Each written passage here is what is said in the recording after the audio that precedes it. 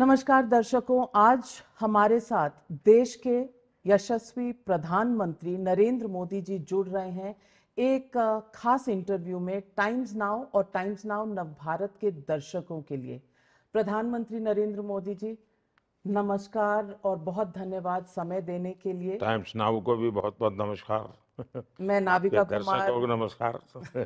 और सर आप कैसे हैं? केम छो केम छो लेकिन अब आदत शायद कब हो गई? मेरा एक प्रॉब्लम है, मैं मुझे हिंदी बोलने की आदत इतनी हो गई कि कुछ परिवार जो मूल हिंदी भाषी लेकिन गुजरात में बसे तो शिकायत करते थे कि आपके मुँह में गुजराती अच्छा नहीं लगता है, आप गुजराती मत बोलो। नहीं कल तो आप बंगाल में बांग्ला भी बोल रहे थे। हाँ हाँ मैं कोशिश करता हूँ जी। तो बहुत सी भाषाएँ आपने मैं मैं मैं संपर्क में रहता हूँ। मुझे मुझे मैंने मेरा इच्छा भी रहती है कि मैं इसको सीखूं थोड़ा। प्रधानमंत्री सबसे पहले सवाल जो मैं पूछना चाहूँगी वो ये कि दो फ़ेज़ के चुनाव तो हो चुके हैं। आपका नामांकन और कुछ नामांकन भी डरते डरते चलते चलते हो गए हैं और आपका नामांकन कब हो रहा है और काशी से ये जो आपका नाता है, ये काशी का नाता आपके लिए क्या मायने रखता है? ये आखिरी फ़ेज़ का चुनाव है हमारा काशी का। उत्तर प्रदेश में वेस्ट से शुरू होता है, जाते जाते ईस्ट में। तो ये लास्ट फ़ेज़ में मेरा चुनाव है काशी का। और मेरी पार्टी ने फिर एक बार मुझे काशी का उम्मीदवार बनाने का तय किया है। मैं लेकिन थोड़ा भावुक हूँ उस संबंध में। राजनीतिक दृष्टि से जो भी होगा। मैं जब 2014 में काशी गया तो नामांकन के बाद, क्योंकि वो लास्ट मोमेंट तय हुआ था मेरा काशी जाना तो नामांकन के बाद ऐसे ही मीडिया के लोगों ने मुझे पकड़ा। तो मेरे मुँह से ऐसे ही एक भाव निकल गया और उस दिन आप देखेंगे, मेरा वो बिल्कुल मैं तैयार नहीं था, अचानक ही मुझे पकड़ा था। मैंने कहा, देखिए भाई, न मैं यहाँ आया हूँ, न मुझे किसी ने भेजा है, मुझे तो माँ गंगा ने बुलाया है। ऐसा मैंने 2014 में कहा था। लेकिन आज 10 साल के बाद मैं पूरे भावुकता से कह सकता हूँ कि उस समय मैंने कहा था कि माँ गंगा ने मुझे बुलाया है। आज मुझे लगता है कि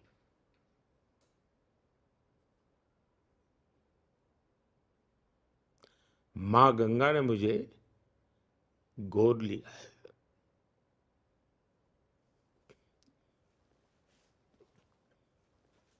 तो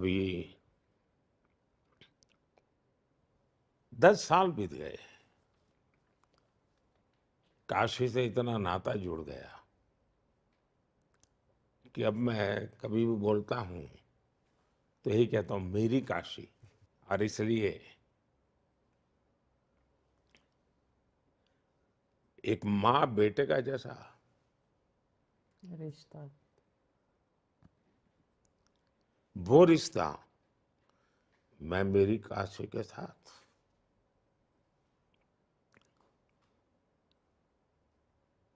लोकतंत्र है,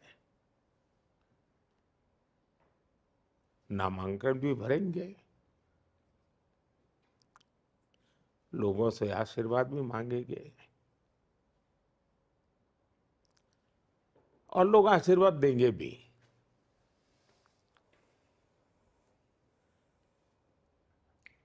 लेकिन ये रिश्ता जनप्रतिनिधि वाला नहीं है। ये रिश्ता किसी और ही अनुभूति का है जो मैं फील करता हूँ। और इसलिए उम्मीदवार, नामांकन, चुनाव ये लोकतंत्र की प्रक्रिया है पूरी करेंगे। पर ये रिश्ता माँ बेटे का। जी। और आपने इसका मतलब सेवा भी माँ के तौर पर ही की है वो जो काशी में इतना विकास हुआ? एक कर्तव्य होता है जनप्रतिनिधि का। लेकिन मैं अपने आप को कभी भी ये महसूस नहीं किया कि मैं कहाँ गुजरात का काशी के लोगों ने इतना प्यार दिया। इतना प्यार दिया। मैं कल्पना नहीं कर सकता। नामांकन कब है सर? नामांकन। नामांकन आप कब फ़ाइल कर? बहुत प्रॉबेबली तेरह चौदह के आसपास चर्चा चल रही है। मेरे और कार्यक्रम बहुत हैं। तो उसमें से वो एडजस्ट करके कुछ निकालेंगे। समय निकालेंगे आप थोड़ा मानते हैं कि समय के हिसाब से बड़ा इंटरेस्टिंग मैं बता दूँ आपने बड़ा मज़ेदार सवाल पूछा। 2014 में शपथ समारोह था। तो मैं राष्ट्रपति भवन गया, प्रणब मुखर्जी साहब से बात करने के लिए। तो मैंने कहा, एक इच्छा है, अगर आपको सुविधा हो, क्योंकि ये कार्यक्रम तो राष्ट्रपति जी का होता है। मैंने कहा, बाहर करेंगे तो अच्छा होगा। तो वो जो समय लोगों ने मुझे बताया था, बोले, साहब, दिन में करना अच्छा होगा। तो भाई उस समय तो धूप बहुत होती है। तो मैंने कहा, कैसे करेंगे? तो बोले, शाम को करेंगे तो अच्छा होगा। तो मैंने कहा, ठीक है, शाम को कर लीजिए। तो शाम को तय हुआ। उस समय आपने देखा, अखबारों में बहुत आर्टिकल छपे थे इंटरव्यू छपते थे। ये मुहूर्त ठीक नहीं है, मोदी जी गलत कर रहे हैं, ये इसका कोई उपाय भी नहीं, शास्त्रों में वगैरह भांति भांति का। मुझे भी काफ़ी लोग के बीच में थोड़ा समय था तो मुझ पर भी दबाव डालने लगे। मैंने कहा भाई देखिए राष्ट्रपति भवन का जो प्रॉब्लम है वो धूप का है और मेरा काम है उनको एडजस्ट करना। मेरा काम नहीं है मैं निर्णय करूँ। तो उस रूप से वो निर्णय हुआ। हर समय सही समय। हाँ ज- ये यही समय है सही समय यही समय है सही समय है। प्रधानमंत्री जी जो इलेक्शन का समय उसमें से दो फ़ेज़ का हिस्सा तो चला गया। मतलब अगर हम माने कि सात पेपर आप दे रहे हैं एग्ज़ाम में तो दो के आंसर शीट तो आपने भर दिए। तो प्रधानमंत्री जी क्या अब, अभी भी ये मान रहे हैं कि वो 400 का टारगेट अचीव हो जाएगा? मुझे अभी भी समझ नहीं आ रहा है आप लोग अच्छा होता आप लोग महीने पहले मेरा इंटरव्यू कर लिए होते तो मैं जरा ठीक से बता देता आपको। आप ये तो देखिए, आज हमारा सिटिंग एमपी कितने हैं? कभी ये तो दिमाग खपाइए जी। हम 2019 में जीत के आए तब एनडीए मोट थ्री फिफ्टी नाइन या इतना कुछ था। फिर ये आंध्र की पॉलिटिकल पार्टी और उड़ीसा की। वो हमेशा हमारे साथ रहे तो वो करीब थर्टी फाइव लोग हैं। फिर नॉर्थ ईस्ट के लोग हमारे साथ रहे हमेशा। तो हम already in A way functional वे में कहें एनडीए प्लस जिसको कहें तो हम 400 से करीब करीब थे। ऑलरेडी हम पार्लियामेंट में 400 थे। ये लोगों को क्यों आश्चर्य हो रहा है कि 400 400 400 ठीक है कि शब्दों में आया, लेकिन रियलिटी ये है कि हम ऑलरेडी 2014 से 19 करीब करीब 400 एमपीज के सहयोग से ही संसद चला है। ये नंबर आप सही बता रहे हैं लेकिन बीजेडी से एक अलायंस की बात हुई जो थोड़ी दूर चली और फिर रह गई। तो अलायंस नहीं रही पर सपोर्ट ज़रूर रहा। हमें हम पहले भी कभी हम पहले सब उनके साथ एनडीए के रूप में हम कभी हम चुनाव साम, आमने सामने ही लड़े थे। 19 में भी हम आमने सामने लड़े थे। पर नेशनल इश्यूज़ हाँ। लेकिन प्रधानमंत्री जी अ, सवाल अगर पॉलिटिक्स पर पूछूँ हम्म। तो बीजेपी का आरोप है कि कांग्रेस का घोषणा पत्र बहुत ही डिवाइसिव है हालाँकि कांग्रेस आलोचना करती है बीजेपी की ये कह के कि आप दो और दो बाईस बनाने की कोशिश कर रहे हैं क्योंकि चाहे वो वेल्थ रीडिस्ट्रीब्यूशन हो या इनहेरिटेंस टैक्स हो ऐसी कोई भी बात उनके मैनिफेस्टो में नहीं है ये कहीं ना कहीं बीजेपी लोगों में डर फैला रहे हम सीए का कानून लाए। साफ़ साफ़ लिखा हुआ है। साफ़ साफ़ कहा गया है। न बोलने में किसी ने गलती की है, न लिखने में गलती की है, न देश के कानून में कोई गलती है। सीधा सीधा वो कानून सिटीजनशिप देने के लिए है। उसमें कहीं पर भी सिटीजनशिप लेने का नहीं है। दो साल हो गए। कांग्रेस पार्टी जो झूठ फैला रही है, क्या कभी आपने उसका फैक्ट चेक किया क्या? कभी पाठशाला में उनके कपड़े उतारे क्या? क्योंकि झूठ इतना चलाते हैं जब भी हम आप, उनके एक एक स्टेटमेंट देख लीजिए। अब जैसे ये इनहेरिटेंस टैक्स की बात लेकर आए हैं। कोई मुझे बनाइए, दुनिया के किसी भी डेवलपिंग कंट्रीज़ में इस प्रकार का प्रयोग हुआ है क्या? आप साम्यवादी विचारधारा की बात छोड़ दीजिए। इनके घोषणा पत्र में और उनकी स्पीचीज में जो बातें आपको एक साथ मिलाकर के एक कैनवास पर रखनी पड़ेगी ये लगातार बोल रहे हैं और सब बोल रहे हैं। ऐसा नहीं कोई बाई दबे बोल रहा है। हर कोई बोल रहे हैं और फिर उनके घोषणा पत्र में जो लिखा है और पहले जो डॉक्टर मनमोहन सिंह जी ने बोला है, मनमोहन सिंह जी ने दो बार पब्लिकली कहा है कि इस पर पहला हक मुसलमानों का है। और जब फिर आप सर्वे करने की बात करते हैं, फिर कहते हैं कि हम सब ले लेंगे और बांट देंगे। जब आप ले लेंगे और बांट देंगे की बात करेंगे तो फिर वो किसको देंगे? तो जो मनमोहन सिंह जी कहा था, उनको देंगे।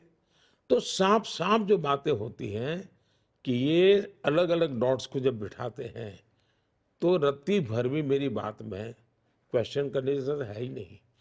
उनके भाषा, उनके शब्द, उनका लिखित निर्णय, नब्बे के बाद उन्होंने अब तक किए गए सारे प्रयास सच्चर कमेटी की रिपोर्ट के बाद उन्होंने किए गए निर्णय, सबको अगर एक कैनवास पर देखेंगे तो उनके इरादे साफ़ हैं। ये उनका हिडन एजेंडा है, ऐसा मैं नहीं मानता हूँ। सिर्फ़ बोलते समय वो हिडन रखते हैं। इस बार मैंने उनको खुल करके बेनकाब किया है। इसलिए वो बौखला गए हैं। वरना जब उस वोट पाने के लिए जाना हो तो वो यही भाषा बोलते हैं। दूसरे वोट लेने जाते हो, तब न्यूट्रल होकर के बोलते हैं। तो ये दोगलापन उनके है। हिम्मत होनी चाहिए। हम सालों तक राम मंदिर की बात करते थे करते थे। हमें इलेक्शन मैनिफेस्टो में अगर मेरा इलेक्शन मैनिफेस्टो दस पेज का होता था लास्ट लाइन लिखते थे उसमें, Ram Mandir 370 common civil code last line होती थी। और वो सालों से हमारी एक ही टर्मिनोलॉजी होती थी। लेकिन दूसरे दिन अखबारों की हेडलाइन राम मंदिर ही होती थी। उस दिन की टीवी डिबेट राम मंदिर ही होती थी। और फिर चर्चा में ये होता था, तारीख नहीं बताएँगे। यानी हमारे मैनिफेस्टो के धज्जियाँ उड़ा देते थे आप। हम गरीबों के लिए योजनाएँ लेकर के आते थे। एक शब्द इस देश के मीडिया में कभी चर्चा में नहीं आया। चर्चा में सिर्फ़ तीन चीज़ें रखी गई। आज कांग्रेस के बचाव में मीडिया ने क्यों काम करने की ज़रूरत है? कोई कारण नहीं है।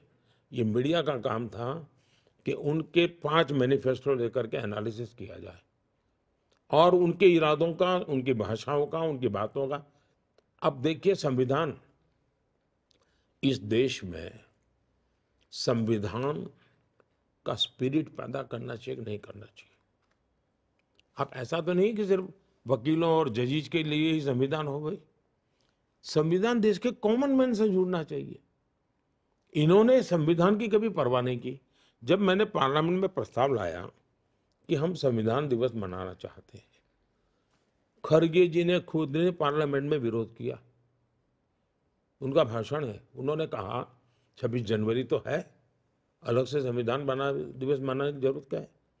मैंने कहा, भाई, ये ये ग्रंथ जो है वो हमारी आने वाली पीढ़ियों को उसके प्रति एक श्रद्धा का भाव पैदा करना चाहिए। स्कूल, कॉलेज, डिबेट सब जगह भी चर्चा उन्हें जब उसका महात्मा बढ़ाएँगे तो फिर मैंने कहा कि जब उसके साठ साल हुए थे संविधान के, तब भारत ने इसको अच्छे ढंग से मनाना चाहिए था। पचास साल हुए तब मनाना चाहिए था। जब साठ साल हुए तो मैंने बड़े शान से ये संविधान दिवस मनाया और हाथी के ऊपर अंबाड़ी में मैंने संविधान रखा और मैं नीचे पैदल चलता था मुख्यमंत्री। और मैंने सुरेंद्र नगर में एक बहुत बड़ा उसकी यात्रा निकाली। लोगों की संविधान के प्रति श्रद्धा बने। इनको संविधान के नाम पर झूठ बोलने में लगातार कोई बताएँ हमारे मैनिफेस्टो में कहीं लिखा है क्या? हमारे भाषण में कहीं निकला है क्या? कोई किसी कार्यकर्ता ने किसी संदर्भ में कहीं बोल दिया, उसी को उछाल करके पूरी तरह हमारी पार्टी को हमारे हमारे वर्जन को मानने को तैयार नहीं है। और खुद कहते हैं कि बताओ हमारे मैनिफेस्टो में कहाँ लिखा है। ऐसे दोगलापन नहीं चल सकता है जी। आपको जवाब देना पड़ेगा। आप बिल्कुल ठीक कह रहे हैं प्रधानमंत्री जी कि एक पूरा इकोसिस्टम जो है वो इसमें लग जाता है। उधर से ये प्रश्न नहीं पूछा जाता, कई बार, या पूछने पर भी जवाब नहीं मिलता। कि बीजेपी के घोषणा पत्र में कहाँ है कि संविधान खत्म करेंगे? अगला चुनाव नहीं होगा। यहाँ वन नेशन वन इलेक्शन की बात चल रही है लेकिन कहा जाता है कि अगला चुनाव ही मोदी आएँगे तो नहीं कराएँगे। आरक्षण खत्म कर देंगे। लिखी चीज़ों पर भी झूठ फैलाया जाता है आपने सीए का ज़िक्र किया। तीन कृषि कानून जिसमें कहा गया कि किसानों की ज़मीन छीन ली जाएगी वो कहीं नहीं लिखा था। कहीं नहीं लिखा गया। लेकिन वो भ्रम फैला फैला कर हाँ। फैला फैला कर चीज़ें जो हैं वो खराब की गई। आप जब इस बार ये कह रहे हैं बार बार कि मोदी मर जाएगा, लेकिन धर्म के नाम पर आरक्षण नहीं आने देगा। ये बड़ा बड़ी स्ट्रांग लाइन है। और हमने पाठशाला में दिखाया था कि आप ये आज से नहीं कह रहे हैं। आपने गुजरात के सीएम रहते हुए भी ये चीज़ जग ज़ाहिर की थी।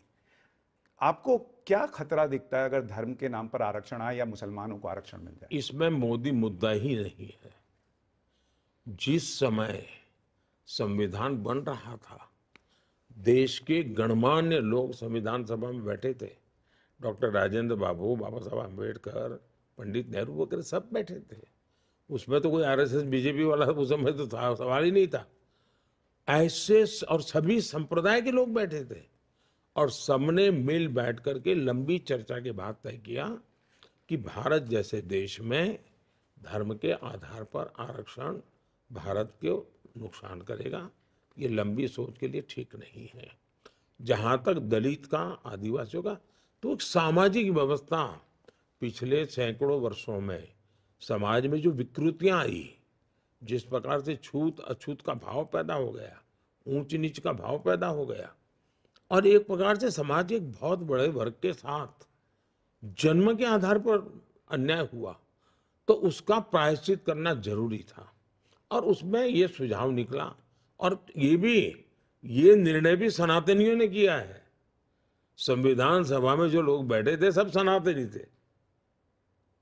जितने बैठे थे सब सनातनी थे। नेहरू जी जैसे कुछ अपवाद हो सकते हैं कि जो अपने आप को उससे ऊपर मानते हो। लेकिन ज़्यादातर वही लोग राजेंद्र बाबू टीका करके बैठते थे। ऐसे लोग बैठे थे। उन्होंने निर्णय किया था कि हमें ये प्रायश्चित करना है आरक्षण देना है। और इसलिए मैं उस भावना से जुड़ा हुआ हूँ। मैं संविधान के स्पिरिट को जीना चाहता हूँ। मैं संविधान के शब्दों का प्रतिष्ठा बढ़ाना चाहता हूँ। और इसलिए मैं डे वन से कह रहा हूँ कि संविधान की भावना के विरुद्ध धर्म के आधार पर आरक्षण इसका मतलब ये नहीं कि मुसलमान को बेनिफिट नहीं मिलेगा। जैसे हमने जब पार्लियामेंट में 10 परसेंट का किया आरक्षण कि सामान्य जाति के गरीब लोग हैं, उनको और कोई झगड़ा नहीं हुआ, किसी का लूटा नहीं, चोरी नहीं की। सामान्य वर्ग के चाहे वो ब्राह्मण होगा बनिया होगा उसका बेटा भी अगर वो गरीबी वाला है उसको मिलेगा। उसमें मुसलमान समाज के भी जो आरक्षण कहीं मिलता नहीं है उनके भी गरीब लोग हैं उसमें हकदार है। मतलब हक नहीं छीन रहे हैं धर्म को आधार मानने से हम विरोध कर रहे हैं। इकोनॉमिकली वीकर सेक्शन हम मुसलमान को नहीं देंगे ऐसा मैं नहीं कह रहा हूँ। मैं कहता हूँ, धर्म के आधार पर रचना नहीं हो सकती। इस देश में गरीब है तो हिंदू हो, मुसलमान हो, ईसाई हो, पारसी हो, कोई भी हो, सबको बेनिफिट मिलना चाहिए। जहाँ तक आदिवासी और दलित का सवाल है, इसके पीछे हज़ारों साल का इतिहास पड़ा हुआ है। और इसलिए वो एक स्पेशल कारण है, और जो संविधान ने सही निर्णय किया, बाबा साहब आम्बेडकर ने सही निर्णय किया, और जो आज भी देश उसका रिस्पेक्ट करता है। हर पॉलिटिकल पार्टी रिस्पेक्ट करती है और मैं नहीं मानता हूँ कि कोई पॉलिटिकल पार्टी इसका विरोध करेगी। यानी आप हिंदू मुसलमान नहीं करते मुसलमान मुसलमान करने वालों के विरोधी है। मैं ये धर्म के आधार पर वोट बैंक के खेल जो खेले जाते हैं ना अब उन्होंने इस बार मैनिफेस्टो में कहा है कि हम जो ठेके देंगे वो ठेके इस पद्धति से देंगे। इस ये देश कैसे चल सकता है जी? ठेका दिया जाता है कि उनकी क्षमता है कि नहीं रिसोर्सेज है कि नहीं एक्सपीरियंस है कि नहीं ट्रैक रिकॉर्ड है कि नहीं सरकार के कामों को करने का उनका तब ये सारे चीज़ें देख करके ठेका दिया जाता है। अब आप कहते उसमें भी आरक्षण होगा और वो माइनॉरिटी के लिए आरक्षण होगा।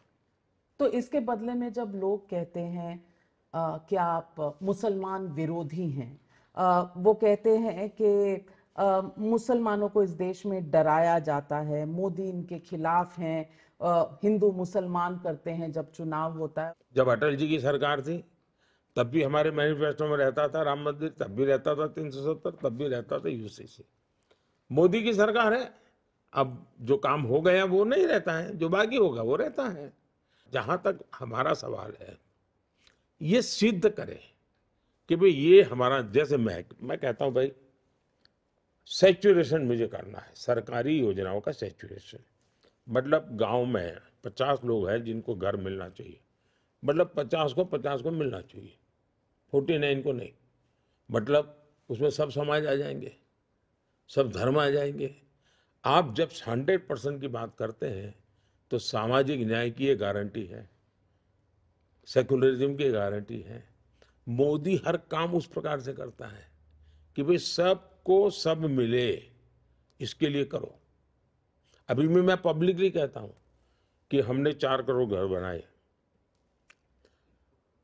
अब कुछ परिवार हैं, विस्तार हुआ उनका तो उनको एक घर की ज़रूरत है। तो राज्यों से मुझे कहा जाता है, साहब, अगर कुछ और मकान हो जाए तो मैंने कहा, चलो भाई, तीन करोड़ और हम प्लान करते हैं। शायद तीन करोड़ की ज़रूरत नहीं पड़ेगी। तो मैं पब्लिकली अभी सभाओं में कहता हूँ कि भाई आप चुनाव में जाते हो तो जाइए, लेकिन मेरा एक काम करिए। अगर कहीं कोई नज़र आ जाए कि जिसको अभी घर मिला नहीं है, नल से जल मिला नहीं है, गैस का कनेक्शन नहीं मिला है, रह गया है तो आप उसकी चिट्ठी मुझे लिख दीजिए और उसको मेरी तरफ़ से कह दीजिए कि मोदी की गारंटी है कि तीसरे टर्म में ये मिल जाएगा। और मैं कहता हूँ, आप ही मेरे मोदी है, क्योंकि मुझे काम करना है।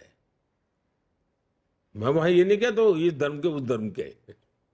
तो एंटी मुस्लिम जब कहते हैं कैसे कैसा लगता है? न हम इस्लाम के विरोधी हैं न हम मुसलमान के विरोधी हैं। हमारा ये काम ही नहीं है। जहाँ तक गाली देते हैं ये नेहरू के जमाने से एक नेरेटिव बना हुआ है इस प्रकार की गाली देने का। दूसरा पहले गाली देते थे क्योंकि उनको कम मेहनत में ज़्यादा मुनाफे वाला काम था। क्योंकि भाई गाली दे दो, ये मुसलमानों के दुश्मन है तो आप अपने आप मुसलमान के मित्र बन जाते हो, कुछ किए बिना तो मुफ़्त में फ़ायदा मिलता है। तो इसलिए उन्होंने ये एक भय का वातावरण बना करके फ़ायदा लेने के लिए दुकान चलाए रखी है। मुसलमान समाज समाज अब समझदार है। जब मैं तीन तलाक का कानून खत्म करता हूँ, परंपरा खत्म करता हूँ तो मुस्लिम बहनों को लगता है। कि अरे तो जिन्योन आदमी है। मैं जब आयुष्मान कार्ड देता हूँ तो उसको लगता है, यार तो जीनियन व्यक्ति है। मैं कोविड का वैक्सीन देता हूँ तो उसको लगता है, यार तो जीनियन आदमी हमारे साथ तो कोई ही नहीं कर रहा है। इनकी परेशानी ये है कि उनका झूठ अब पकड़ा जाने लगा है। इसलिए उनको ज़्यादा ज़्यादा भ्रम फैलाने के लिए बिना सर पैर के झूठ बोलने पड़ रहे हैं। और प्रधानमंत्री जी, इसमें छोटा सा मैं एक सवाल और जोड़ रहा हूँ कि इसमें कोई दो राय नहीं कि आपकी किसी योजना में हिंदू मुसलमान हुआ। घर मिलना है, गरीब को मिलना है, वो गरीब कोई भी हो सकता है। लेकिन 2002 से आज 2024 आ हो गया। हम और आप किसी सामान को खरीदने जाएँगे तो दो साल, तीन साल के बाद शायद नहीं खरीदेंगे, कुछ नया ट्राई कर लेंगे। 22 साल से यही नैरेटिव कैसे मुसलमान बार बार खरीद ले रहा है या मान ले रहा है कि मोदी आएँगे तो मुसलमान को खत्म कर देंगे? देखिए, मैं करीब करीब 25 साल हो गए मुझे हेड ऑफ़ द गवर्नमेंट के नाते। और गुजरात में आपको मालूम होगा, शायद अठारहवीं शताब्दी या उन्नीसवीं शताब्दी से रिकॉर्ड अवेलेबल है। दंगे गुजरात में होते थे उसका। दस साल में सात साल दंगे होते थे।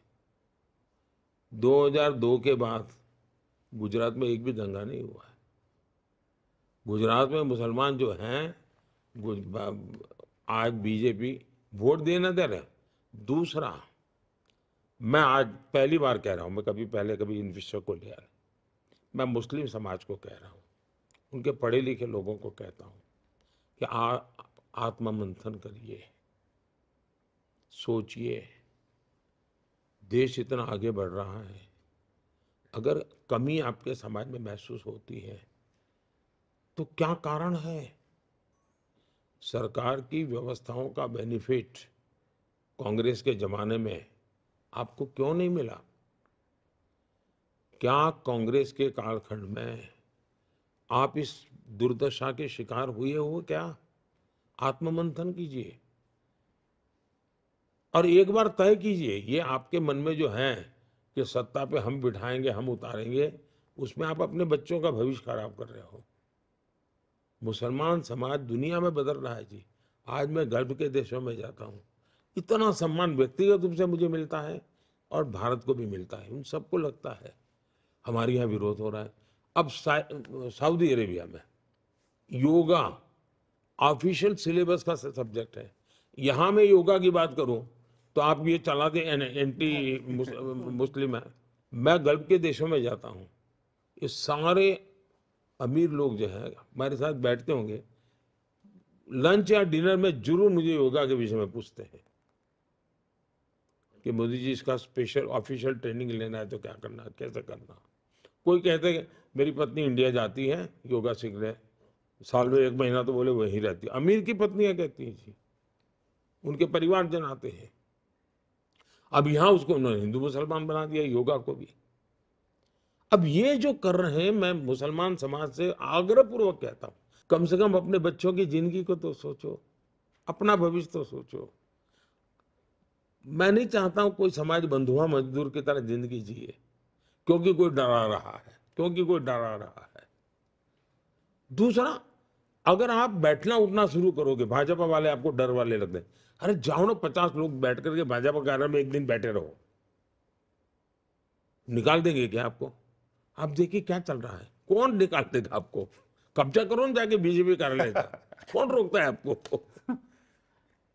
नहीं और प्रधानमंत्री जी जब हम फेक नैरेटिव की बात करते हैं जिसमें कई बार मुसलमान भी फंसता है कई बार ऐसा लगता है कि उनको ये क्यों नहीं दिखता कि कश्मीर में पहले मुसलमान का बच्चा पत्थर चलाता था आज वो रोज़गार ले रहा है। लेकिन मैं फेक नैरेटिव की बात करूँ सर आपके ऊपर कई चीज़ें लगातार झूठ बोली जाती हैं। मतलब एक सब, कई बार तो मैं अभी नाविका जी से हम लोग बात कर रहे थे कि आप शायद वो व्यक्ति हैं पॉलिटिक्स में जिसकी छवि बाहर सबसे गलत पेश हुई हुई है। आपसे मिलने वाला, आपको जानने वाला अलग ही जानता है और बाहर तो अलग ही दुनिया है। ये फेक नैरेटिव इतना फैलाया अपने दोस्तों का, कितना लाख, सोलह लाख करोड़, बारह लाख करोड़ माफ़ कर दिया राइट ऑफ़ को। संविधान खत्म कर देंगे किसान को गाली देते हैं, जो भी चीज़ें। लेकिन इस बार जब अमित शाह जी का एक फेक वीडियो फैलाया गया, आप लोग काफ़ी उसको लेकर अग्रेसिवली आपने कहा कि ये बहुत गलत हो रहा है। इस पर आपका रिएक्शन पहले से अलग था, बाकी के झूठ से। ऐसा क्यों और ये क्यों? मैं मैं, ऐसा नहीं है। मैं आपको बताता हूँ। मध्य प्रदेश के चुनाव में एक डीप फेक वीडियो निकला और अमिताभ बच्चन जी के आवाज़ में निकला। आप हैरान हो जाएँगे। अमिताभ साहब पूरी रात सो नहीं पाए। बोले, रात को ही मुझे एफआईआर करनी है।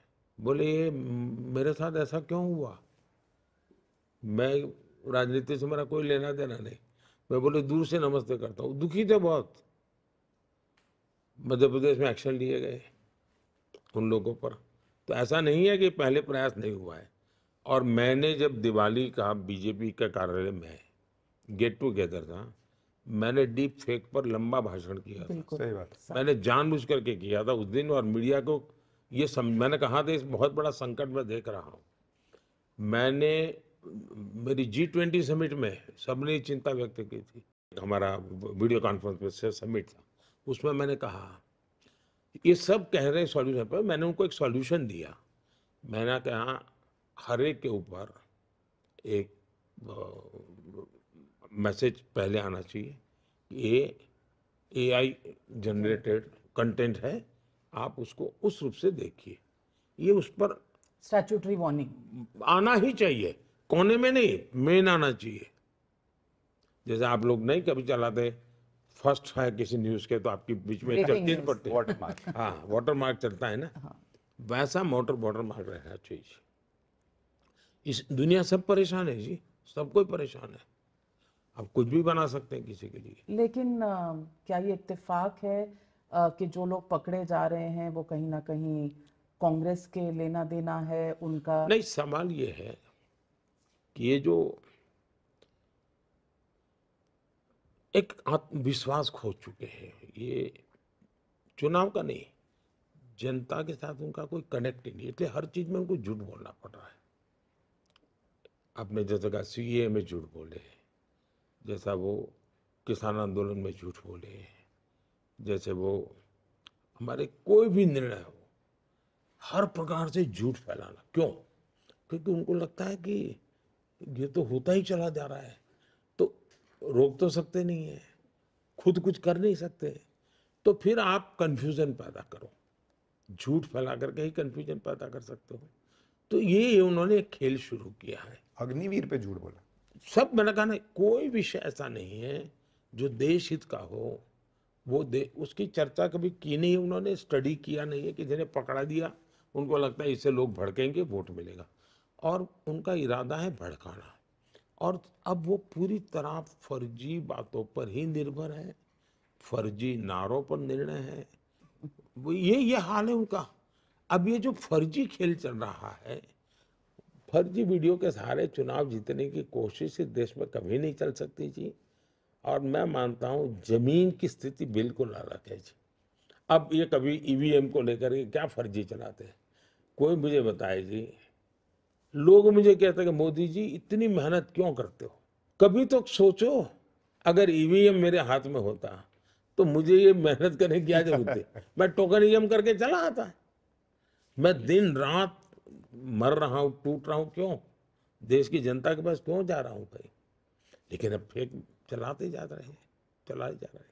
ऊपर से कहते हैं कि आप तानाशाह हैं, आप पुतिन बाबा हैं, आप तानाशाह हैं तमाम तरह की चीज़ें कही जाती हैं और ये इकोसिस्टम इकोसिस्टम सिर्फ़ भारत में नहीं है, यहाँ से लेकर विदेशों तक एक इकोसिस्टम चलता है जो कहता है आप हिटलर हैं आप तानाशाह हैं आप आएँगे तो ये बदल जाएगा चुनाव नहीं होंगे। इन सब चीज़ों को आप कैसे देखते हैं कि एजेंसियाँ भी आपने कंट्रोल कर ली हैं? तमाम चीफ मिनिस्टर आपने जेल में डाल दिए हैं। हाँ कि केजरीवाल जी को जेल तो- में डाल दिया हेमंत सोरेन को जेल में डाल दिया। देखिए मैं बताता हूँ अच्छा होगा विषय आपने अच्छा निकाला है। मेरे पास जवाब भी है। लेकिन मैं आप लोगों से आग्रह करूँगा क्योंकि टाइम्स नाउ की अपनी एक प्रतिष्ठा है। क्या साइंटिफिक तरीके से इस सब्जेक्ट का एनालिसिस हो सकता है क्या? अब जैसे आप, सुशांत, आप पाठशाला चलाते हैं।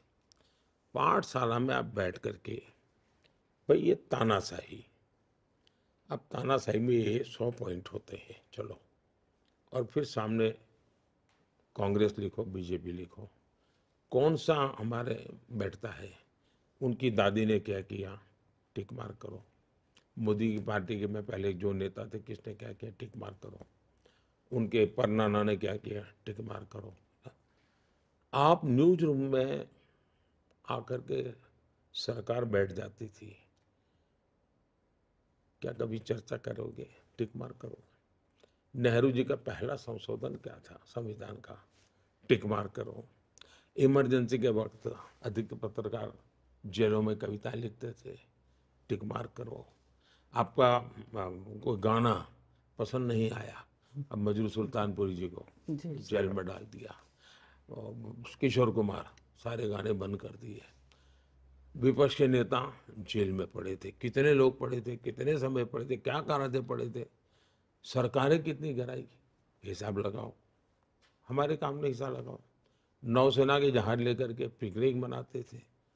बताइए कौन सी डेमोक्रेसी थी? आप समझाइए। मन माने तरह से लोगों का घर गिराना, नसबंदियाँ करवाई। किस प्रकार से करवाई थी आपने? गायत्री देवी के साथ क्या जुल्म किया था आपने? आर्टिकल थ्री फिफ्टी सिक्स का सौ बार दुरुपयोग किया गया।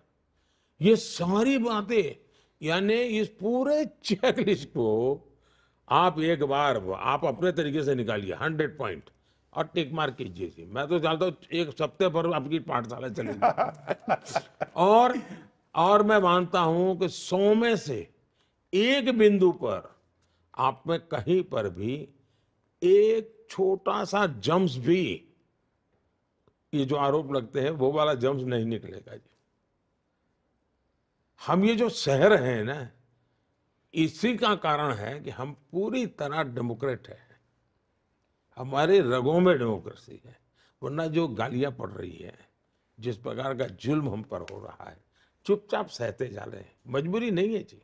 दुनिया की सबसे बड़े लोकतंत्र का पूर्ण बहुमत के साथ 10 साल से शासन, बेदाग सरकार, तेरह चौदह साल का राज्य का मुखिया के रूप में शासन, तेईस साल का लंबा लंबा जीवन, एक दाग नहीं लगा है।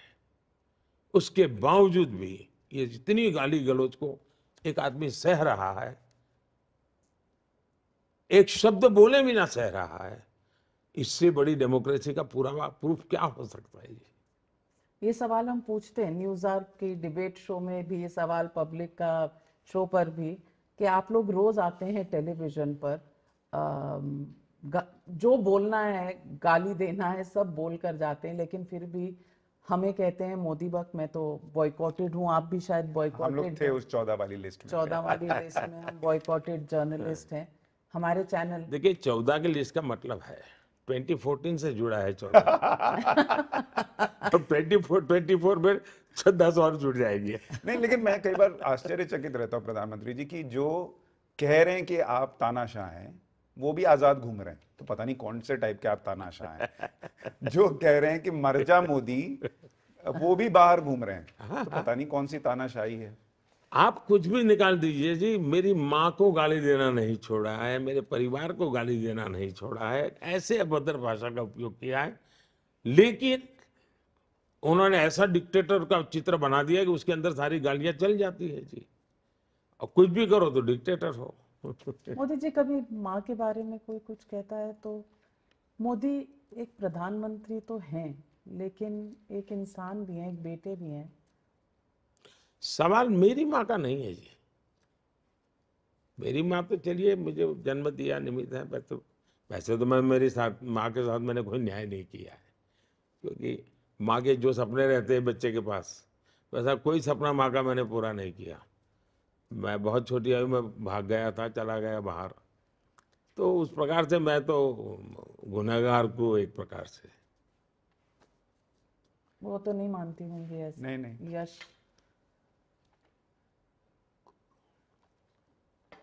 मैं माफ़ी के साथ ये सवाल पूछ रहा हूँ क्योंकि आपका कभी निजी भाव बहुत बाहर नहीं आता। लेकिन क्या ये चीज़ आपके बैक ऑफ़ द माइंड चल रही है सर जो आप लोगों से शायद नहीं बोलते होंगे। कि 2002 के बाद ये पहला चुनाव है सब कुछ होगा लेकिन आपकी माँ नहीं होगी। आप हर चुनाव के बाद उनका पैर छूने जाते थे। ऐसा है कि मैं मैं तो कभी उसमें राजनीति में था नहीं। अचानक मुझे संगठन का काम करता अटल जी का फ़ोन आया कि विराट को आओ काम है।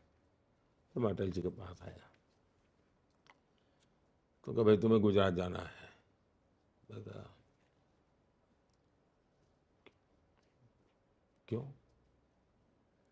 मैंने कहा, मैं अभी यहाँ इतने सारा देश भर का काम देखता हूँ। अब फिर मुझे गुजरात क्यों, कैसे आप डाल रहे हो? मैंने पार्टी का काम कर ही रहा हूँ मैं और उसमें गुजरात का भी कभी कभी जाके देख लेता हूँ।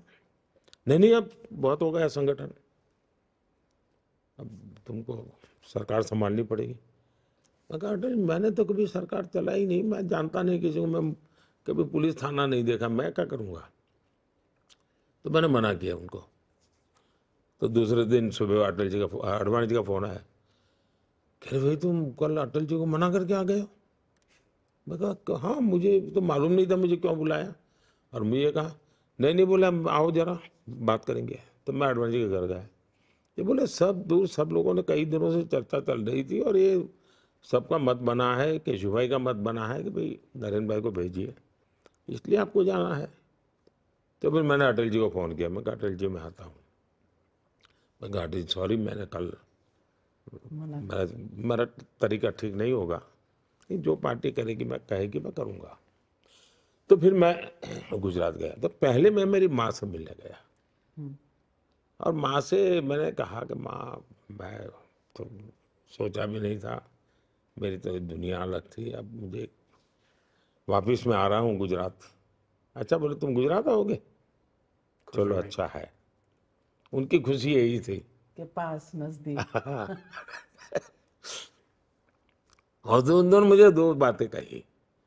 देख भाई गरीब की चिंता करना और दूसरा वो गुजराती में रिश्वत को लाच शब्द है कभी लाच मत लेना। शायद उस दिन के टाइम्स ऑफ़ इंडिया में रिपोर्टर भी है। हम्म, तो ये तो मेरा तब से फिर एक बार नाता जुड़ा। वैसे तो मैं बड़ा कट ऑफ़ था कभी बाहर ही रहता था। फिर मैं जब नामांकन करने गया पहली बार तो मैंने कहा चलो भाई माँ के पैर छू करके जाते हैं। तो मैं मेरे भाई के घर गया। माँ ने मुझे गुड़ खिलाया। तब से लेकर के मैं जितने नामांकन किए हैं सब नामांकन के पहले मैं माँ के पैर छूने गया और नामांकन कर गया। और गुड़ देती थी। ये पहला मेरी ज़िंदगी का चुनाव है।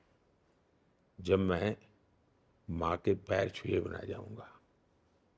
लेकिन मेरे में एक भाव भी आता है कि आज 140 करोड़ देश की करोड़ों माताएँ हैं। उन्होंने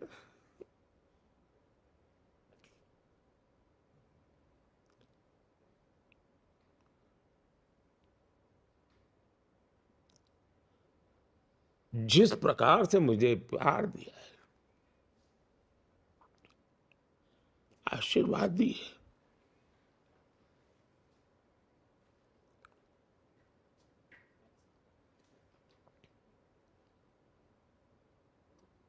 उन्हीं का स्मरण करके और फिर माँ गंगा तो है ही है। गंगा माँ। माँ गंगा तो है ही है। तो कमी तो है। पर देख रहा हूँ कि करोड़ों माताएँ शायद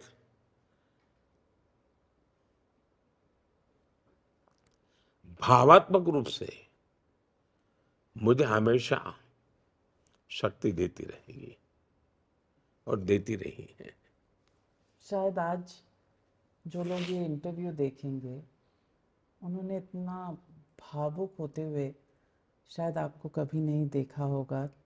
आपके सामने माँ का जो भाव मैं देख रही हूँ मैं भी एक माँ हूँ मैं समझ समझ रही हूँ कि ये भाव क्या होता है।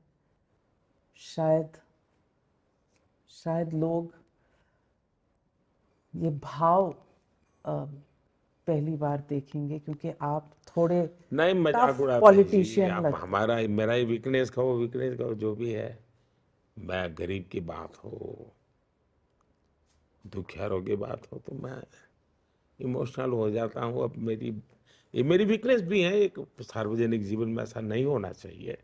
लेकिन अब मैं आर्टिफिशियल ज़िंदगी जी नहीं सकता हूँ। प्रधानमंत्री जी आप माओं की बात कर रहे थे कि करोड़ों माएँ आपके साथ हैं। एक पिता का मैं आपको अनुभव बताता हूँ।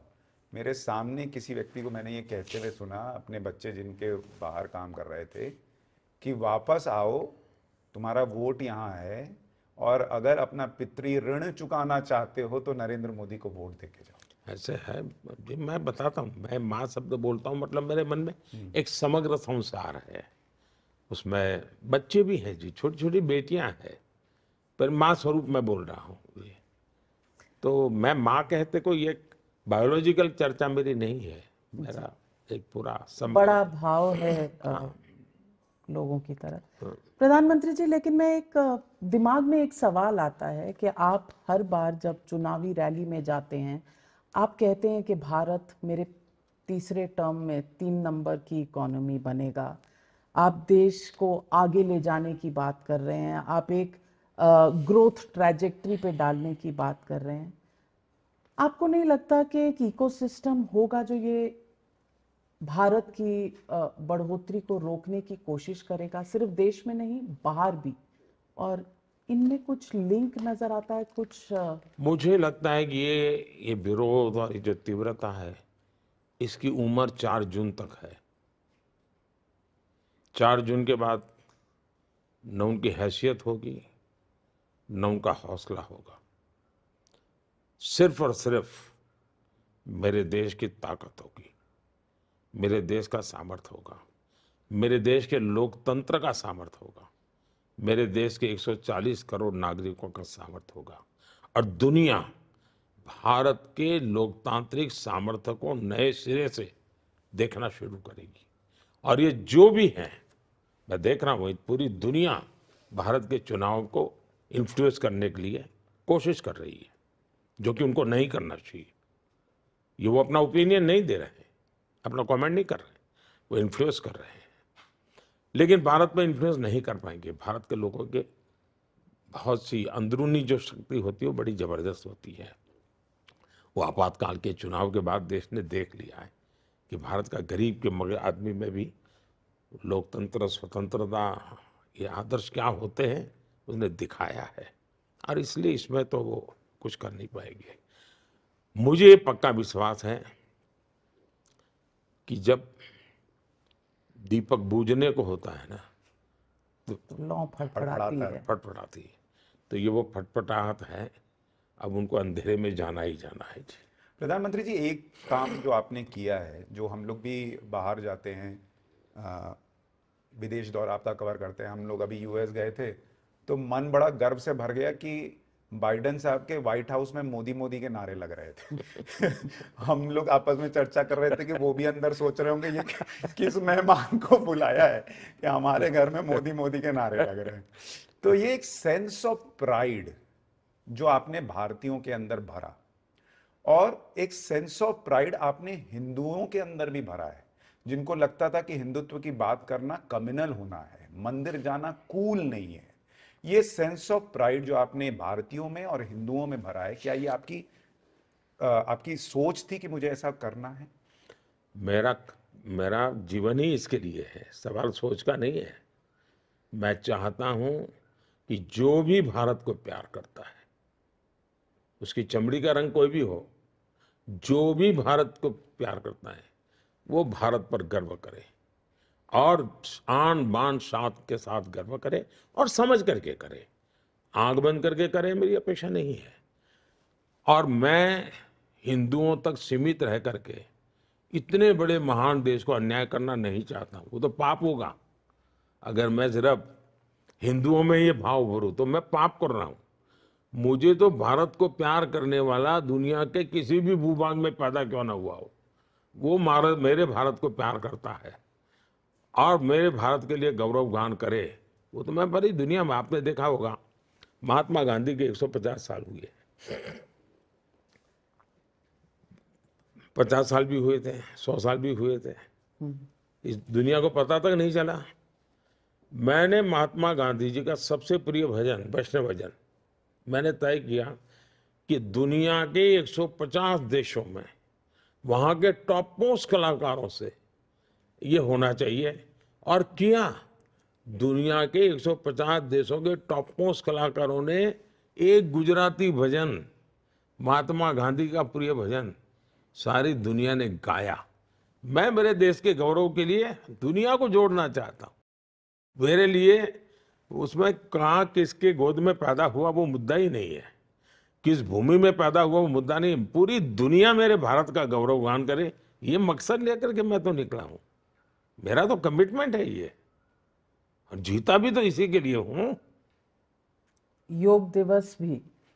अंतर्राष्ट्रीय योगा दिवस अंतर्राष्ट्रीय सोलर अलायंस हर क्षेत्र में मैं एनवायरनमेंट को लेकर के हमको भी हमें मैंने कहा one earth one family one future फिर मैंने कहा one sun one world one grid बिजली के लिए मैंने कहा तो मेरी हर सोच में मैं ग्लोबली मैंने हमारे चंद्रयान गया तो पॉइंट का नाम मैंने शिव शक्ति रखा है।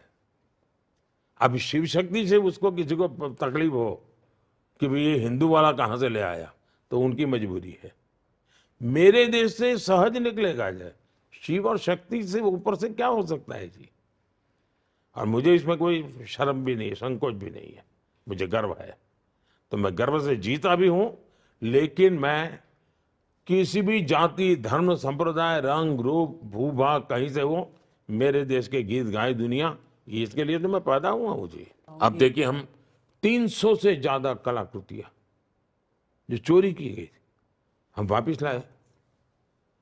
अभी पहले भी हो सकता था जी, लेकिन हमने वो विश्वास दे और मैं तो देखो, मुझे एक कोई आपके किसी पत्रकार परिवार में से भी मुझे उनका कोई बच्चा विदेश पढ़ता था। तो कहा भाई आजकल तो हमको यूनिवर्सिटी में बोले मोदी जी ने भारत को कुल बना दिया। ये बच्चे बड़े यूनिवर्सिटी में साथ से घूम रहे जी। नहीं कूल और स्ट्रांग दोनों बना दिया। प्रधानमंत्री एक सवाल है जो कम से कम मुझे ट्रबल करता है। मुझे कहीं ना कहीं ये देख कर तकलीफ़ होती है। वो है कि जिस तरह का हम एक वाक्य देख रहे हैं, Prajwal Revanna member of parliament रहे हैं, उनके पिताजी, उनके फार्म हाउस से एक महिला, एक हेल्पर मिली है कल, और जिस तरह के वीडियोस 2976 वीडियोस की बात की जा रही है, और वो आदमी भाग जाता है देश से, इस पर हम क्या करेंगे? क्या हम लाचार मजबूर हैं, क्या हम वापस लाएँगे इस पर? न्याय कैसे मिलेगा महिलाओं को? पहली बात है ये कानून व्यवस्था का मुद्दा है। अगर बंगाल में इस प्रकार का घटना होती तो बंगाल की सरकार जिम्मेवार है। गुजरात में होती है तो गुजरात की समाज जिम्मेवार आंध्र में होती तो आंध्र की सरकार, तेलंगाना में होती तो कर्नाटका में होता, कर्नाटका की सरकार जिम्मेवार है कदम लेने के लिए। दूसरा as far as Modi is concern as far as BJP is concerned, as far as our constitution is concerned, मेरा साफ़ मत है कि ऐसे अत्याचारियों को जरा भी बख्शा नहीं जाना चाहिए। कठोर से कठोर सजा होनी चाहिए और जो भी कानूनी रास्ते हो उनका भरपूर इस्तेमाल करना चाहिए। लेकिन ये 2900 या 3000 और 5000 जो भी हो एक दिन की तो होगी नहीं। इसका मतलब तबका है जब वो इनके सरकार के भागीदार थे। देवगौड़ा जी की पार्टी और कांग्रेस पार्टनर में थे तबका है। इसका मतलब उन्होंने सरकार में रहते हुए ये सारा इकट्ठा करके रखा। और चुनाव में भी एक निश्चित समाज के लोगों का मतदान पूरा हो गया वो ब्लॉक। वोकलिकर्स वो कलेगा का उसके बाद उसको बाहर लाना। और उसको भी, उसको विदेश बाहर भेजने के बाद मार लाना। ये बहुत ही शंकास्पद है खेल कि भाई आप अपने राज्य से जाने दे रहे हो। अगर आपके पास जानकारी है तो आपने वॉच रखते, एयरपोर्ट पर रखते। आपने कुछ किया नहीं, भारत सरकार को कभी इन्फॉर्म नहीं किया आपने। इसका मतलब ये उनका राजनीतिक खेल है, और उनको मालूम है कि ये उनके कार्यकाल के सरकार में जब उनकी भागीदारी थी तब का ही उन्होंने जमा करके रखा हुआ है। मेरा मुद्दा वो नहीं है। मेरा मुद्दा है किसी भी गुनहगार को बख्शा नहीं जाना चाहिए। हमारे देश में खेल बंद होने चाहिए। वापस लाएँगे? वापस लाना भी चाहिए और उसको कड़ी से कड़ी कार्रवाई होनी चाहिए। कोई इप्स एंड बट्स नहीं होना चाहिए। प्रधानमंत्री जी एक बड़ा मुद्दा जो इस चुनाव में है, बेरोजगारी और महँगाई की बात विपक्ष करता है कि महँगाई बहुत बड़ी हुई है और बेरोजगारी पर आपका जो रुख है कि भाई पाँच साल पहले आपने कहा था कि उस पर रोज़गार के डेटा पर जो है, उसकी विश्वसनीयता पर आपने प्रश्न उठाए थे। क्या बेरोजगारी और महँगाई आपकी सरकार के लिए चुनौती है? और जो सवाल उठ रहे हैं उस पर आपका रिएक्शन पहली बात है कि आज अवसर ही अवसर है। हमने चुनौतियों को चुनौती दे करके अवसर में परिवर्तित किया है। लेकिन आवश्यकता ये है कि चीज़ों को हकीकतों के आधार पर देखा जाना चाहिए। एक्यूरेट सोर्स से जो डेटा मिलता है, उसको आधार बना। अब जैसे पीएलएफएस का डेटा उससे तो विश्वसनीय मानोगे आप। पीएलएफएस के डेटा को तो विश्वसनीय मानोगे। बेरोजगारी दर पिछले छह साल में सबसे निचले स्तर पर है। उसी प्रकार से ग्रामीण बेरोजगारी, यानी हर जगह पे आया कि भाई ग्रामीण इकोनॉमी बढ़ी है। ग्रामीण क्षेत्र में बेरोजगारी घटी है, ग्रामीण क्षेत्र में एक्टिविटी बढ़ी है इकोनॉमी का सेंटर बनते जा रहे ग्रामीण। 2017 से लेकर के 2023 के बीच लेबर फोर्स पार्टिसिपेशन रेट पिछले दिनों से सबसे ज़्यादा बढ़ा है। 2017 49.8 प्रतिशत लेबर फोर्स पार्टिसिपेशन रेट 2023 में लगभग 58 परसेंट हुआ है। अब इसको क्या कहेंगे? बेरोजगारी दर सिक्स परसेंट थे, अब करीब करीब थ्री परसेंट हो गया है। इसको क्या कहेंगे? नारी शक्ति की भागीदारी लगातार बढ़ती जा रही है। 10 साल में 10 करोड़ महिलाएँ विमेन सेल्फ हेल्प ग्रुप में एक्टिव हुई है। वो इकोनॉमिकल एक्टिविटी का काम करती है। और एक करोड़ लखपति दीदी, और अभी मेरा लक्ष्य है तीन करोड़ लखपति दीदी का ईपीएफओ में ईपीएफओ में छह करोड़ लोगों से ज़्यादा रजिस्ट्री होती है। वो तो ऐसे नामकरण नहीं है। वो तो कैश मिलता है, तब बनता है जी। सरकारी नौकरी, प्राइवेट जॉब दोनों बढ़ाई गई है। मुद्रा योजना, लाखों लोगों को हमने बिना गारंटी लोन दिए और एक एक व्यक्ति ने एक एक दो दो लोगों को रोज़गार दिया। नए सेक्टर्स के लिए हमने स्पेस खोल दिया। हमने स्टार्टअप देखिए, पहले के ज़माने में 200-300 स्टार्टअप थे। आज करीब सवा लाख स्टार्टअप्स हैं। और tier two tier three city के अंदर वो नेतृत्व कर रहे हैं। ड्रोन्स का क्षेत्र इतना बड़ा बढ़ा है जी। आज ड्रोन जीवन में इतना उपयोगी हो रहा है इतना बड़ा मैन्युफैक्चरिंग से लेकर के सर्विस सेक्टर तक। वाह, आज कोई भी टीवी कैमरा वाला शादी वाला कैमरा वाला भी ड्रोन वाले अलग ऑपरेटर रखता है। ड्रोन दीदी का मेरा कार्यक्रम पूरे देश में बहुत बड़ा कमाल कर रहा है जी। मैपिंग की बात हो कृषि की बात हो रक्षा क्षेत्र हो इवन ट्रांसपोर्टेशन का क्षेत्र हो। मेडिसिन में कितना बड़ा कमाल हुआ है। फाइव जी का विस्तार। ये टावर वावर तो लगे होंगे तो रोज़गार को ये मिला हुआ। एआई इंटरनेट ऑफ़ थिंग्स कितना बड़ा अवसर मिल रहा है। यानी एक एक एक एक क्षेत्र को हम आगे बढ़ा रहे हैं। और इसलिए मैं मानता हूँ कि अब अपन छाई सिक्स जी पे काम कर रहे हैं। लेकिन अगर किसी को झूठी बोलना है तो इसका कोई उपाय नहीं है। जितने अवसर हमने पैदा की है वो पहले कभी नहीं हुए। और जितने अवसर की संभावना हम देख रहे हैं वो भी पहले कभी नहीं सोचा गया था।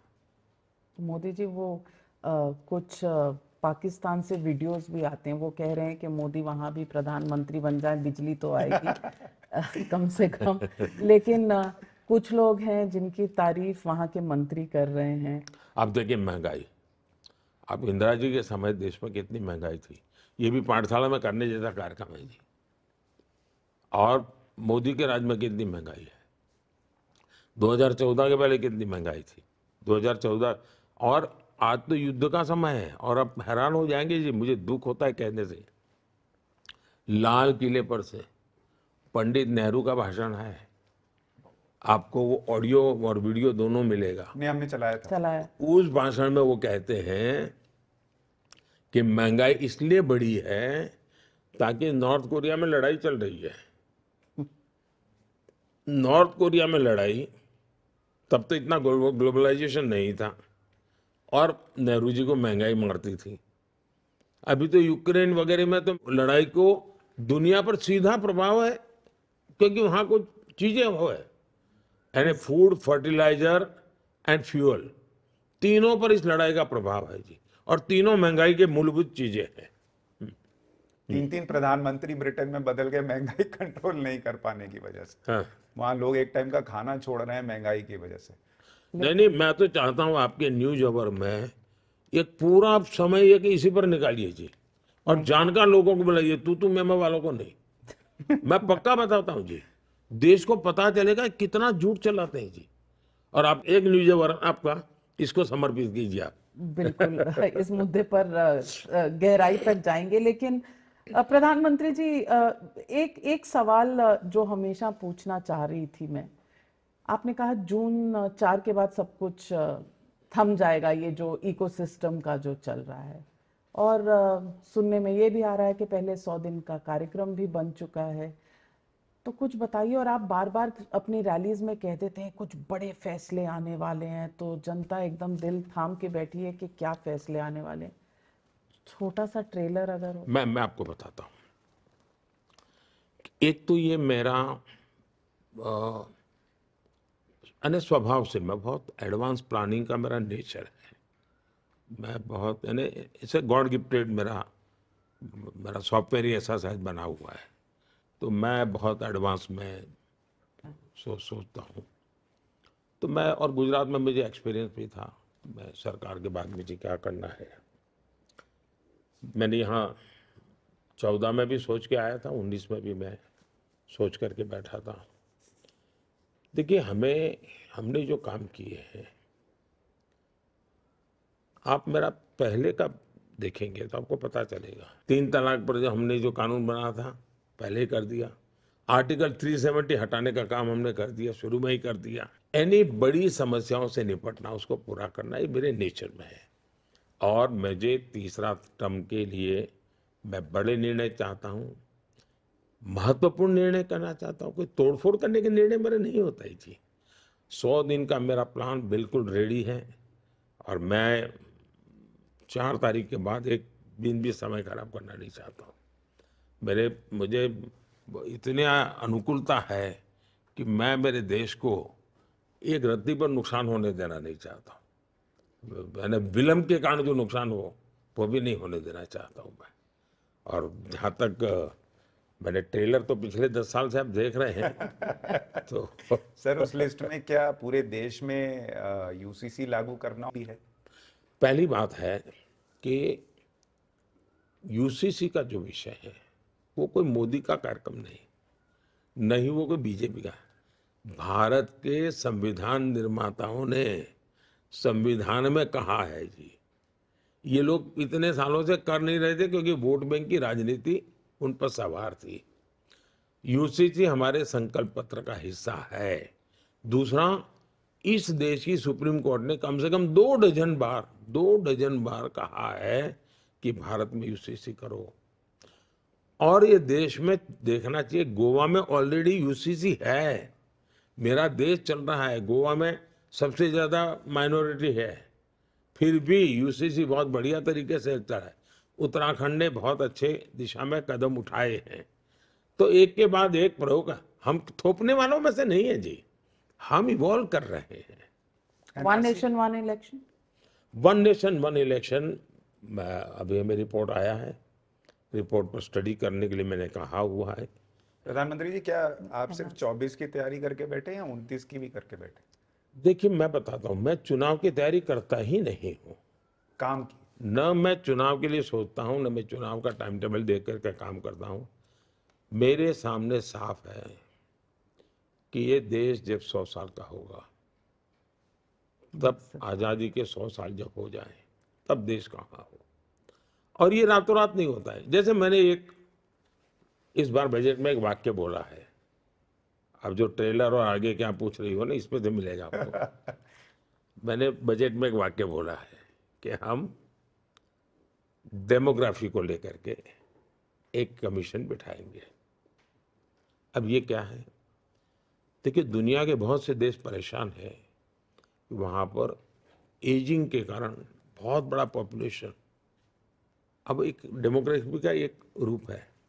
मैं नहीं चाहता कि ट्वेंटी फोर्टी सेवन में मेरे घर, देश में जो बुज़ुर्ग लोग हैं, उनके लिए कोई प्लानिंग ना हो। आज हम युवा हैं, लेकिन कभी तो बूढ़े होंगे। तो इस सरकार का काम है कि अभी से सोचे, मैं वो सोचता हूँ कि आज आप जो नौजवान है, वो ट्वेंटी फोर्टी सेवन में जब बूढ़े होंगे, तब आप असहायता न अनुभव, इसके लिए प्लानिंग अभी से होना चाहिए। मैं इस लेवल के काम कर रहा हूँ जी। मैंने ऑलरेडी बजट में एक वाक्य बोला लेकिन देश में मीडिया पकड़ नहीं पाए उस बात को। लेकिन मैं इस सोच से काम कर रहा हूँ जी। नहीं मैंने ये प्रश्न इसलिए पूछा क्योंकि कई लोग ये सोच के बैठे हैं कि इस बार तो गया हुआ है मामला। उनतीस में मोदी जी हटेंगे फिर हम आएँगे। उनतीस में उनका चांस है। ऐसा है मैं राजनीति में कौन आए कौन जाए कोई देश ऐसा नहीं होना चाहिए जो किसी व्यक्ति के आधार पर चलता हो जी। मैं मोदी के आधार पर देश चले, ये मोदी कभी नहीं चाहेगा। ऐसा मेरा देश, ये मेरा देश तो बहुरत्ना वसुंधरा है जी। यहाँ तो अनेक रत्न पैदा होते रहे हैं, आगे भी होते रहने वाले हैं, और देश आगे चलने ही वाला है। लेकिन इस प्रकार से माला जपने से कोई अपना भविष्य नहीं बना सकता। हर एक को अपना भविष्य बनाने के लिए मेहनत करनी चाहिए। जनता का विश्वास जीतना चाहिए, जनता के सुख दुख के साथी बनना चाहिए और वैकेशन थोड़े कम करने चाहिए। बहुत सही कहा आपने। आपके कोई पॉलिटिकल पर्सनल बकेट लिस्ट होती है सबकी? कुछ, जो हो गया, जो सबसे आपके दिल के करीब था कोई एक चीज़ ऐसे बताइए कि वो हो गया तो वो मेरी अचीवमेंट मुझे महसूस होती है ऐसा और बच है क्या गया? मैं, मैं मेरा काम का जो स्टाइल है ना वो एक बड़ा ही इंटीग्रेटेड होता है कॉम्प्रिहेंसिव होता है। टुकड़ों में नहीं होता है जी लेकिन मैं जब उसको बाहर लाता हूँ तो वो प्रोग्रेसिव अनफोल्डमेंट होता है। जैसे मैं कहूँगा चलो भाई सबके बैंक अकाउंट खोलो। मुझे याद है मैं 2014 में नया नया आया और जनधन अकाउंट का मैंने शुरू किया। तो हमारे अरुण जेटली बड़े परेशान हो गए क्योंकि मैं हर तीसरे दिन मॉनिटरिंग करने लगा कि भाई कितनी बैंकों ने किया। बैंक वाले झुग्गी झोपड़ी में जाते हैं कि नहीं जाते बैंक वाले रेडी पटरी वालों के पास जाते हैं? अरुण जी "भाई, ये तो आपने क्या ऑर्डर कर दिया है वो हो जाए मैंने कहा नहीं जी मुझे ये सौ दिन में काम पूरा करना है। लेकिन तब दुनिया को लग रहा था ये तो जनधन अकाउंट खोल रहा है। अच्छा बैंक वाले मेरे से झगड़ा कर रहे थे साहब स्टेशनरी का पैसा तो मिले मैंने कहा कुछ नहीं मिलेगा ज़ीरो अमाउंट से अकाउंट खुलेगा। तब आश्चर्य होता था लोगों को। लेकिन वही जनधन अकाउंट कोरोना के समय कितनी बड़ी ताकत बन गया। वही जनधन अकाउंट फिर मैंने उसको आधार से जोड़ा फिर मैं उसको मोबाइल से जोड़ा फिर मैंने उसको डायरेक्ट बेनिफिट ट्रांसफ़र से जोड़ा। छत्तीस लाख करोड़ रुपया डायरेक्ट बेनिफिट ट्रांसफ़र हो रहा है। फिर मनरेगा से जोड़ा। यानी मैं जब बैंक के खाता दुनिया को तो लगा दुनिया का सबसे बड़ा फाइनेंशियल इंक्लूजन उनकी गाड़ी वहीं अटक जाती है। मोदी की तो वहीं से शुरू होती है। और बाहर के जितने दे, देश से लोग आए उन्होंने वो डिजिटल तो वो भी देखा। तो जब एक काम करता हूँ लगता है ये करते हैं। लेकिन समझ लीजिए मैं एक करता हूँ तो वो नहीं कर रहा हूँ। वो जाकर के कहीं और पर कुछ कभी पर्सनल मैं कुछ... मैं सिंपल बताता हूँ जी कैसे होता है? मैं गुजरात गया मुख्यमंत्री के नाते।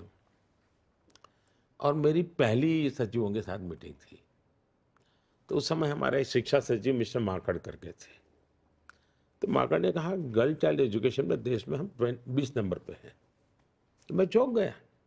गुजरात जैसा राज्य गर्ल चाइल्ड एजुकेशन में बीस नंबर पे। मेरे मन में चिपक गया वो, पहली मीटिंग का वो। फिर हर वर्ष जून महीने में 44 डिग्री टेम्परेचर होता है गुजरात में। तेरह, चौदह, पंद्रह जून, तीन दिन मैं गाँव में रहता था। उस गाँव में जाता था जहाँ मिनिमम गर्ल चाइल्ड एजुकेशन है और मैं तीन दिन में पाँच गाँव करता था। उन पाँच गाँवों में घर घर जाना और मैं कहता मैं बिक, बिक, मैं भिक्षा मैं मेरा शब्द मैं भिक्षा मांगने आया हूँ। और मैं भिक्षा में आपसे वचन माँगता हूँ कि मुझे वचन दीजिए कि मैं मेरी बेटी को पढ़ाऊँगा। तो मैं भिक्षुक के रूप में काम करता था। और मुख्यमंत्री के नाते तीन दिन भिक्षा मांगनी है ना मांगनी ये मेरा नियम था। और बच्चियों को मैं स्कूल ले जाता था। लोगों को लगा चलो मोदी जी बचो। लेकिन मैंने उस काम के लिए डेढ़ लाख नए टीचर भर्ती किए। उस काम के लिए मैंने ढाई लाख नए स्कूल के कमरे बनाए। इस काम के लिए मैंने हर स्कूल को इलेक्ट्रिफिकेशन किया। उस काम के लिए मैंने हर स्कूल के अंदर कंप्यूटर की व्यवस्था करना शुरू किया। फिर मैंने गुणोत्सव शुरू किया। उसमें मैं फिर तीन दिन दिवाली के बाद देता था, जिसमें क्वालिटी ऑफ़ एजुकेशन में, यानी पहले तो लगा कि यार मोदी गर्मी में ले जा रहा है घुमा रहा है। लेकिन बात यहाँ तक पहुँचा दी। तो मेरा काम करने का तरीका ये है कि मैं चीज़ को कहीं शुरू करता हूँ तो मतलब वो समझ लीजिए कि मैंने बहुत लंबा सोच करके आया हूँ। जब मैंने योगा की बात कही तब लोगों को लगा जैसे हर दिन मनाने की बात आती वैसे ही आएगा मेरे लिए वैसा नहीं था जी। दुनिया में एक विमेन डे के सिवाय कोई भी ऐसा डे नहीं है जैसे योगा डे है। विमेन डे पकड़ गया है, क्योंकि वो विमेन विमेन ने उसको ओनरशिप लिया है। यूएन का ओनरशिप प्लेटफॉर्म है। योगा दुनिया ने खुद ने ओनरशिप ले ली है। तो अब योगा के साथ, मैं आयुर्वेद ले आया, आयुर्वेद के साथ भारत की परंपराएँ ले आया, उसके साथ मैंने कोविड में ऑल्टरनेट मेडिसिन ले आया, मैंने ब्रिक्स में ऑल्टरनेट मेडिसिन का सब्जेक्ट रखा। मैंने जी जी ट्वेंटी में ट्रेडिशनल मेडिसिन का सब्जेक्ट रखा। यानी आप देखिए चीज़ मैं छोड़ता नहीं हूँ। आपके जो विरोधी वो इसीलिए घबराते भी हैं कि अभी ये दिख रहा है इन्होंने आगे क्या सोच रखा होगा। और विरोधी ये भी सोचते हैं कि इतना कॉन्फिडेंस कि चार जून को यही रिज़ल्ट आएगा। ज़रूर ईवीएम में कोई चिप डाला मोदी चिप ऐसा है। आप कुछ भी कहिए वो उसका अर्थ यही निकालते हैं। उनको इतने डरे हुए हैं ना जी।